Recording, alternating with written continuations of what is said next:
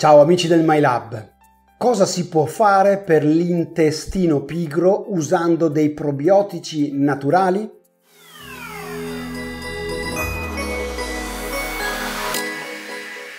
I probiotici per l'intestino sono una buona cosa. Ah, penso che li produciamo anche, non ve l'ho neanche mai detto, però quasi sempre vengono introdotti quando una persona ha un disturbo intestinale e momentaneamente c'è il rischio che facciano peggio. Allora, nella personalizzazione dei programmi MyLab ti sappiamo dire quando è il momento, non io, te lo sa dire la, il consulente, il biologo, il medico che ti segue, però in generale c'è un consiglio che ho avuto l'ok da questo team di medici a darvi.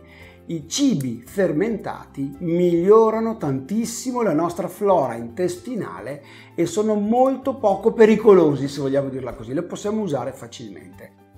Quali sono questi cibi fermentati che possono aiutarci? Qua andiamo nei consigli un po' meno diffusi, è per esempio il miso. Il miso è una pastella che vendono nei negozi bio o nei negozi di roba eh, giapponese che serve a fare la famosa zuppa di miso. L'avrai mangiata qualche volta nei ristoranti giapponesi, giusto? Ecco, questo miso è una pastella, è un fermentato di riso e lo fanno fermentare per un tempo lunghissimo, a volte anche per degli anni, perché quel miso lì, grazie al fatto che fermenta lentissimamente, gli viene dato veramente tanto tempo, quella pastella contiene i bifidi, mentre invece i due prima che ti ho detto, yogurt e kefir, contengono quasi esclusivamente lattobacilli, che vanno bene ma non sono tutto.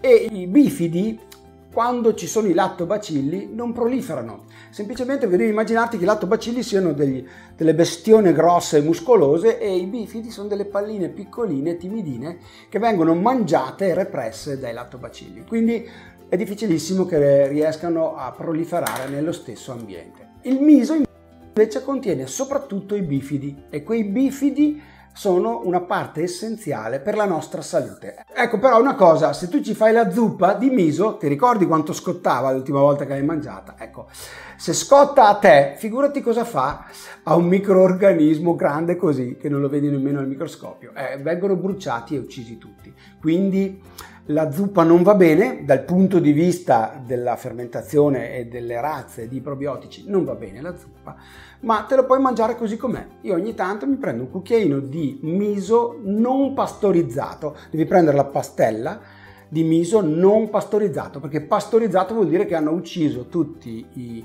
batteri con un riscaldamento improvviso per evitare che continui a fermentare. Tu prendi quello non pastorizzato, dura meno sullo scaffale, ma tanto tu lo metti in frigo, forse non importa, e ogni tanto ti mangi questa roba qua e ti riempi la pancina di bifidi. È una bella, una bella cosa, un bel suggerimento.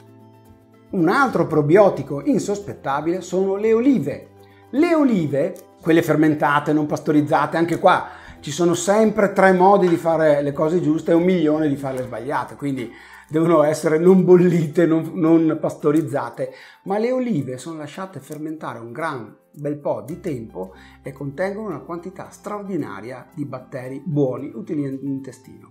Quindi quando tuo figlio vuole tante olive, sì, dagli un po' una limitazione, però gli stanno facendo bene, non limitarlo troppo. Non dagli quel cacchio di yogurt pieno di zucchero e di frutta che ti dicevo prima, perché le olive sono troppe. Dagli le olive, è un ottimo probiotico. Hai notato quanto siano golosi i bambini di olive? Non so, solo, solo i miei o anche i tuoi, fammelo sapere. Di cibi fermentati ce ne sono poi tanti altri, mi viene in mente per esempio i krauti. I krauti fermentati sono un ottimo probiotico, perché vedete qual è il problema dei probiotici? Che eh, vengono quasi tutti uccisi dai succhi gastrici. Quindi tu butti dentro un fantastigliardo di probiotici e questi qua, poveretti, pochissimi passano la digestione. Tra l'altro l'idea che si, era, che si, aveva una volta era prendeteli a stomaco vuoto, dicevano, perché così sì, a stomaco vuoto non ci sono tanti succhi gastrici che li uccidono e quindi è probabile che passino maggiormente la barriera della digestione dello stomaco.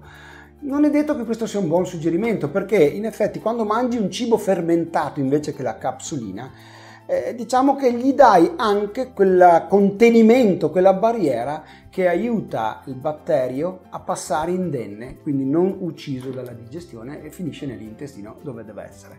Quindi insomma anche mangiare, prendere i probiotici anche in capsule a stomaco pieno non è sbagliato, purché non ci butti giù una bevanda caldissima come una camomilla che scotta o una zuppa di miso come quella di prima, d'accordo? Quindi anche i crauti fermentati sono un ottimo cibo sono difficili da fare, io trovo che siano difficili da fare, una, eh, per esempio i coreani fanno il kimchi che non è solo krauti ma anche altre cose, il problema è che devi avere un po' di pratica perché c'è un sottile eh, confine tra eh, il krauto andato a, a male e fermentato, davvero deve essere lenta la sua fermentazione e quindi devi accorgerti se ha fatto la muffa, se è andato oltre come fermentazione e poi rassegnati a una cosa, puzza terribilmente. Da che mondo è mondo i crauti cotti puzzano e anche i crauti fermentati puzzano. Ecco che per noi occidentali che non siamo abituati fin da piccoli, come invece avviene con le persone, non so, i, coreani, i giapponesi, loro sono abituati a capire cos'è che è fermentato bene, cos'è che è fermentato male. Noi non li sappiamo distinguere. La prima volta ho buttato via 5 volte i crauti, andavano tutte bene, in realtà ho detto, ma questa puzza, figurati se mangio sta roba. Però eh, puzzavano e sono fatti così. Quindi ecco, per dirla in breve, i probiotici sono utili, hanno anche loro delle contropartite, quindi non è facile trattarli, ma considera di inserire nella tua dieta del cibo probiotico e non solo dei probiotici a parte. Poi le pastiglie, le capsule di probiotici hanno il loro perché, noi li consigliamo a un certo punto del percorso, perché danno delle varietà che non trovi nel cibo e anche perché danno, come dire, delle quantità che è difficile raggiungere quel cibo.